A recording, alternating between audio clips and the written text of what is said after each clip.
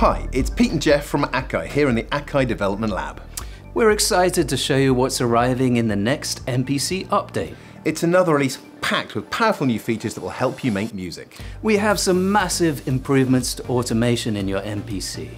You can input, edit and view automation in lanes in the grid editor. And you can also step sequence automation parameters, which is a really fun way to add movement to your track.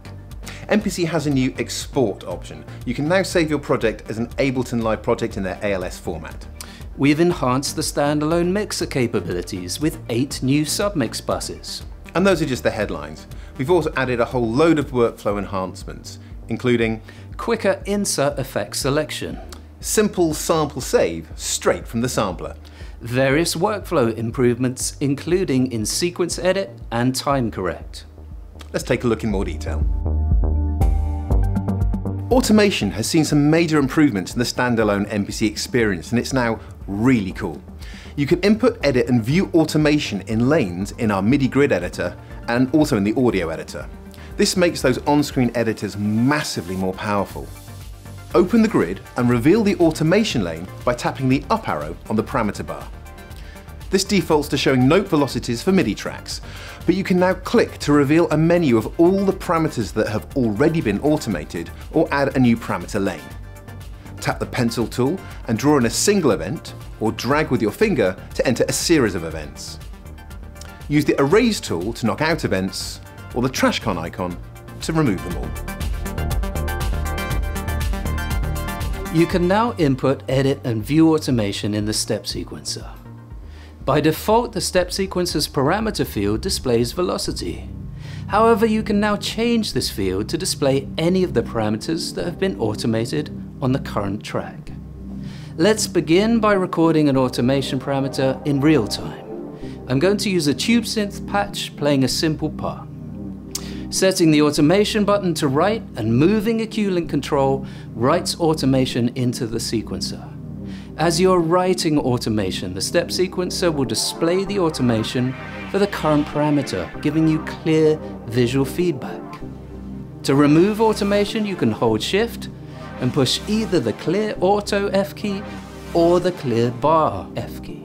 You can also manually draw in automation. Double tap the parameter field to show the drop-down menu. From the drop-down menu, choose the Add New option then select a parameter to create an empty automation lane. You can now freely draw in automation using a touch drag gesture.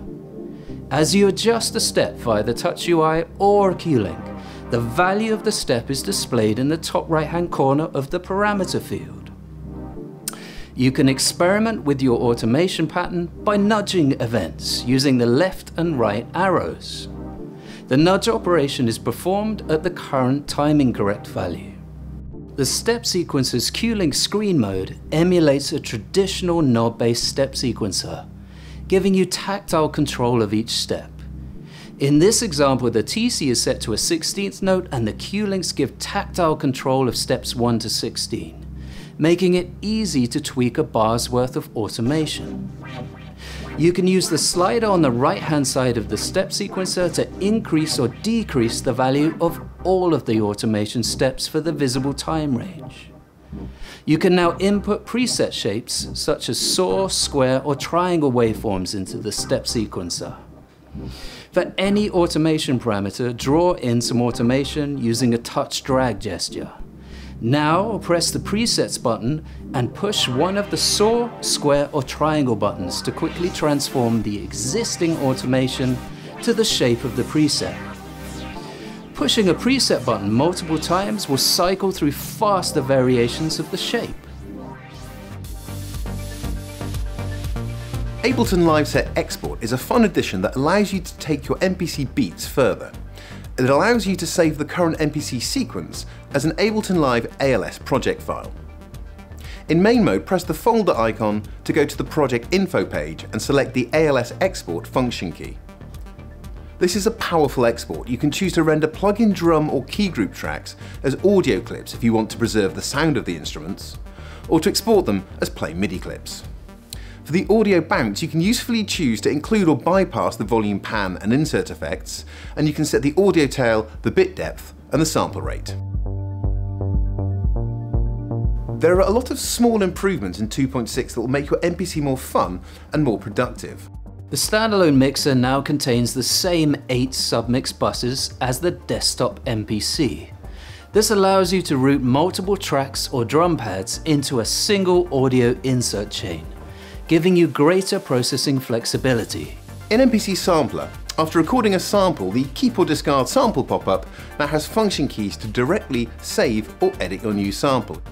Within Sequence Edit's Copy Events pop-up, you can now copy the events from individual or multiple pads. Tap the pads for which events you want to copy those pads turn red, and the pads field now changes from all to display your selected pads. We've made it easier to navigate your internal Akai and Air insert effects. They're now split into groups named by function.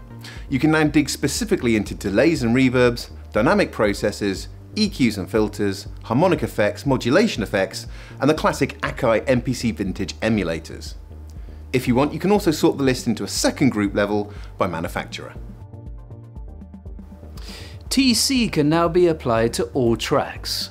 Open the TC pop-up and use the All Track F key to apply the current TC settings to all MIDI tracks.